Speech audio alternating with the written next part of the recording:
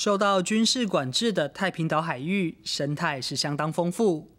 中研院研究员郑明修调查发现到，数量相当稀少的龙王雕，也还有许多难得一见的鱼种。因此，他也呼吁政府必须要更加重视太平岛的海洋保育。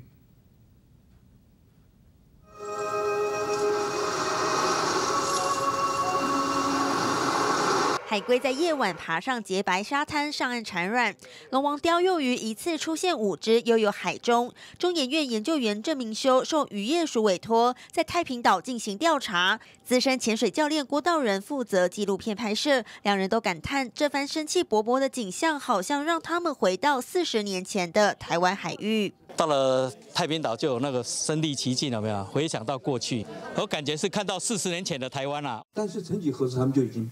不在了，因为人多了，因为污染了，因为呃大家需求量增加了，所以环境就开始不好了。可是再凶狠的角色背后。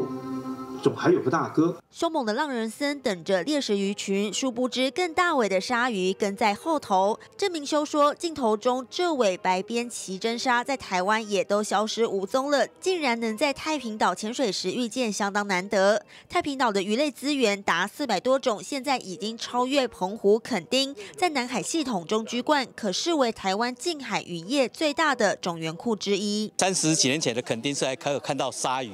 哦，所以鲨鱼是一个指标，还有其他的珊瑚礁鱼类，好像石斑鱼啊、大鱼啊，像一公尺的像罗村啊，像这些大鱼呢，现在在台湾呢，海底的珊瑚礁都看不到了。但是在我们太平岛呢，就会很容易看到这些。调查也指出，太平岛活珊瑚覆盖率高达百分之六十到百分之八十，经济性鱼种的丰富度可媲美大堡礁保护区。不过，南海主权争议和破坏性的渔业捕捞都会冲击珊瑚礁生态资源。郑明修呼吁政府，南海主权的捍卫不能退让，并祭出有效的保育行动，才能保卫已日益枯竭的海洋生态。记者黄金吴家宝台北报道。